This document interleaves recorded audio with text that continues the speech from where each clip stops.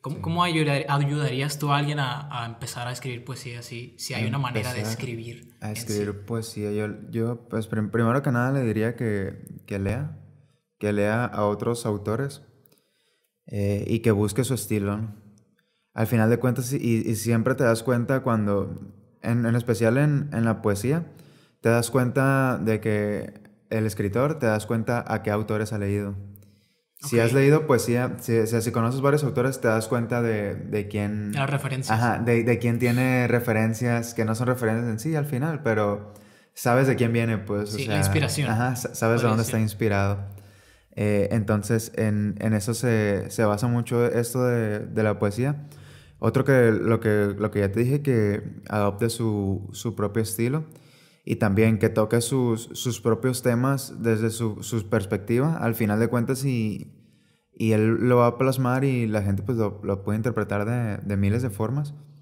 Pero yo creo que así, así es como funciona un poquito más, ¿no? Que él se puede entender al momento de escribir y yo creo que cuando uno se entiende co- como escritor, la gente lo, lo entiende. Y a lo mejor yo creo que no nomás como escritor, sino como cualquier tipo de, de de artista. arte. De hecho, en el, en el TED Talk que te digo que vi, mencionaba este vato que... Este vato. El, expo- el expositor. Que a él, para poder... O sea, él es profesor de una institución y, y promotor, promotor de... prom- promovedor de cultura, promotor ¿Promotor? promotor de cultura.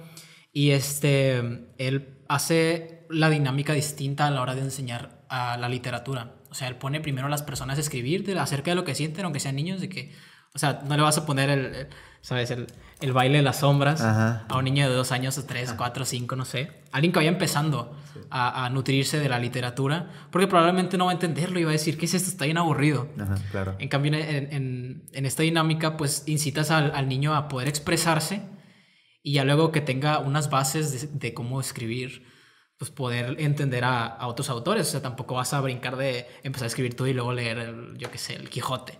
Pero hay, hay un progreso más medido y, y- y, a- am, acompañas el, emprendi- el- el aprendizaje mediante la escritura. Y yo creo que ese, eso podría ser una buena solución al problema de la literatura en sí, no tanto la poesía. Porque ahorita, o sea, veo mucho la crítica de que cómo va a entender un niño algo tan complejo como la Divina Sí. Comedia a una edad tan Sí, corta hecho, porque se lo ponen en la escuela. Justo te iba a mencionar la Divina Comedia, porque, exactamente, porque te la se la ponen en la escuela, pues por eso es como de que, ay, pues, no. Sí, o sea, y la- No, es no una obra quiero- maestra. El, el Quijote también, pues, Quijote. como que, y, y cuando, cuando son, pues, son obras, pues, muy, muy poderosas. La Divina Comedia me se hace algo, es una obra de arte en su totalidad. Eh, entonces sí, sí tiene mucho que ver eso, ¿no? El, el formato de, de estudio de la literatura está muy dañado, es lo que yo siento. De varias cosas, la verdad. O sea, sí, de hecho. Empezando porque debería de dejar de ser uno, un formato para todos. Sí. Eso haría un gran cambio a nivel educativo. Pero me interesa eh, cómo lo estás abordando tú porque dices que con la cultura se puede combatir ese tipo de carencias. O sea, eso, eso es el mensaje que quieres o la, la, la visión que tienes hacia tus proyectos. Sí, al final y, y es, es lo que engloba casi todo mi, eh, mi, mi proyecto este de la literatura, casi lo engloba en general la, la, la cultura, el cómo atacar con la cultura eh, a través de la educación, claro. Eh, muchas, muchas cosas que yo creo que, que están mal, ¿no? Que nos están dañando a la sociedad. Sí. Ya ves que te estaba platicando acerca de que vinieron unos raperos Sí. al podcast. Que ya va a estar subido uno con el host, con el ruso. Que les voy a dejar aquí. Este. También me encontré que existe lo que viene siendo el Poetry Slam. ¿Sabes lo que es eso? Mm, no, a, lo mejor lo he escuchado, pero recuérdame. Pues yo lo entiendo como la evolución del- del- de la poesía. Porque eh, siento que se ha dejado la poesía tan literaria, tan literaria. Se ha, se ha convertido en cosas más eh, escuchables como el rap, por ejemplo. Claro. Que también tiene una, una cultura y una información detrás de unas Sí, referencias. sí, está llena de versos y pues Ajá. rimas y pues, al final es arte. Efectivamente. Es, es poesía convertida en música, la verdad. Y te quería preguntar si, si tú te llenas de, ese de esas referencias para escribir o cómo o qué, es, qué música escuchas, porque siento que la música es, tiene un, un peso muy grande en cómo piensa una persona. Eh, La música tiene una, una fuerza muy potente, yo creo que del, en, en la poesía tiene una fuerza muy potente.